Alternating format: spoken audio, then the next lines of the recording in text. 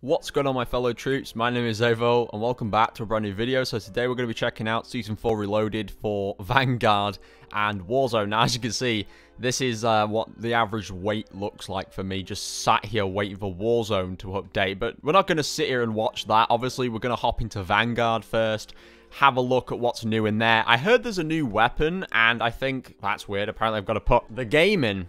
One second, my bad. I've got Modern Warfare still plugged in. This is a bug I get with like new cards now. I get like this bug that says like you're in trial mode, the free trial, uh, which the free trial hasn't existed since like the beta time, I'm pretty sure, when the game first came out. So I don't know why it still gives me that error when I, when I don't put the disc in. It should actually just say the game isn't plugged in. But hey, okay, let's go into Vanguard. So I heard there's a new weapon. I heard there's a new map. I'm not too sure about everything else. Now, I heard about a bunch of other speculations about, like, new camos. I don't know what that means. Uh, I was watching Jev the other day, and there was something about titanium camos coming to Warzone. That sounds pretty damn cool. I do want to keep this nice and short, though, because I, I know I always say this, and then the video ends up being, like, normal length, but I know a lot of people will watch these videos and will just want to rip their eyes out because of how long they are when they don't need to be this long. So let's just uh, take a look at multiplayer. So first things first, we've got Desolation 24-7. So this is just like a, a playlist for this new map. I actually haven't seen this new map. Okay, so this is the new map. Desolation looks very jungly, as you can see. It actually looks similar to Zombies, the Zombies map. Maybe it's just me that it looks a bit like Shi No Numa a little bit. I don't know where that's actually going to be based at, but yeah, that's the new map we've got. So we've got Desolation. We have got a new assault rifle, I believe. Just when I thought I was getting near to finishing this damn game. Here, they've added the Vargo S, so trading firepower is improved, accuracy and fire rate. This rifle excels in medium and long range engagements, and you have to unlock it by doing 15 close range kills. That is honestly the most easiest challenge I've seen. That is pathetic, and it's still showing the STG. That's a little weird. That's what it looks like down there anyway. That's the Vargo S. Wait, what? It's unlocked it for me. I swear it said it was locked a while ago. Then it was locked with challenges on it. Then it was locked again with, with no challenge progress bar allowed to be shown on it. Like, the challenges are so broken in this game. Can I just say that? Like, none of them work properly. Not surprised the operator hasn't even appeared in here when there's supposed to be a new operator. Maybe that new operator is just going to come in, like, in the last 10 days of the battle pass. That's, that tends to happen.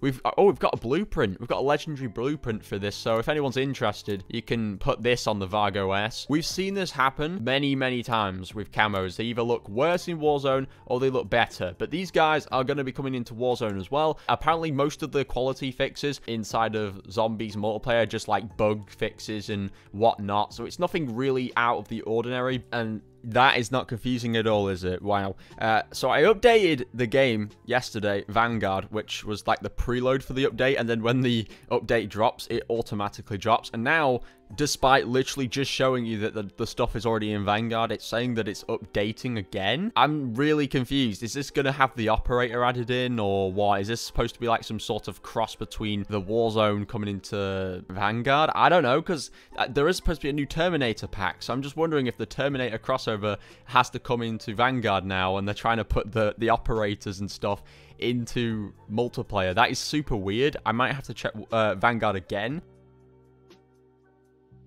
now guys, this is where it's about to get a bit crazy because Warzone seems to be receiving most of the updates. In fact, I've literally just taken a quick glance before at the home screen for Warzone when you first come on with a little starter button and it looks really really cool look at this this is awesome so we've got as you can see a zombie's hand on it now most of this looks very Halloween themed Considering we're in August, it's a little bit weird. Actually, no, we're not in August yet. We're still in July. My bad. I'm losing the plot at this point. But yeah, we've got some like colored stims and stuff. And we've got a zombie hand there. This is reminding me a lot of The Haunting of Verdansk. Now, I don't know if they've done that and they've put it on Rebirth. Basically, that's what they've done on the new Fortune's Keep. Okay, so here we go.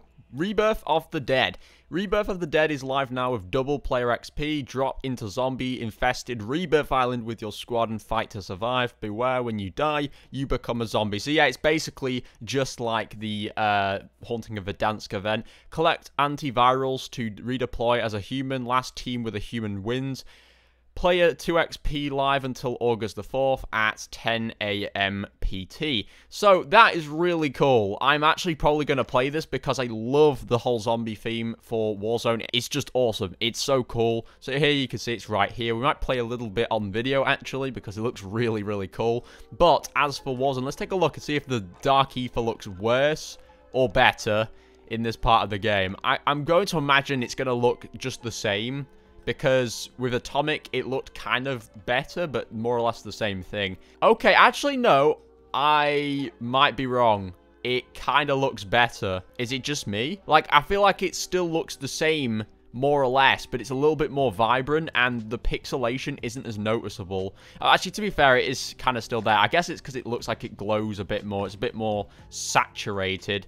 This definitely looks better in Warzone uh, the Plague Diamond, because Plague Diamond in Zombies is awful. It's absolutely terrible, and this looks somewhat better. Like, it actually looks like... It's, it kind of looks a little bit more crystally uh, than Bumps, at least, and the pink doesn't look as disgusting. Oh! Just when you thought that Golden Viper looked nice in Zombies, look at it here. Oh my god. Yo, this shit is like really, really vibrant rose pink. This is awesome. I like this. That is so nice. This actually looks like better than most camos I've seen in Call of Duty, and I'm not capping. That is actually really fucking nice. So, yeah, they've got the zombies camos in Warzone. That's cool. Now let's actually check out what else is new to here. See, here's the thing, right? This this this operator is new to Vanguard. He isn't showing up in the main game, but he manages to show up in Warzone. It's funny that, isn't it? That they can get it to work with their sister game, but the the main game, like the mother game where this is supposed to have come from, this skin, it isn't showing up. Like, what the fuck is going on? You see these two? These ones they show up inside of their game, and this one doesn't. What's going on? Come on, Vanguard, you need to pick up the pace a little bit, fix your fucking game, and put the skins in where they're supposed to be. I don't know if they've done anything else. I think other stuff are probably just fixes and probably updating the perks. Okay, so I just pulled up um, the Raven Software community uh, update page, and it actually explains the mid-season launch and how it's going to work. So for July 27th today and onwards, we get obviously the new event and whatnot. Then on the 4th of August, we actually get uh, a bunch of other updates, random stuff, nothing too crazy. Then on the week of the of August the 11th, that's when Titanium Trials Endurance comes in, and uh, we get WSOW Battle Royale. So I don't know what that means. That sounds interesting. So apparently these things are actually coming further down the line into August, so it's not all happening all at once at the start of this update. So it's good to know that Raven actually posts about that on their page at least, because when you look at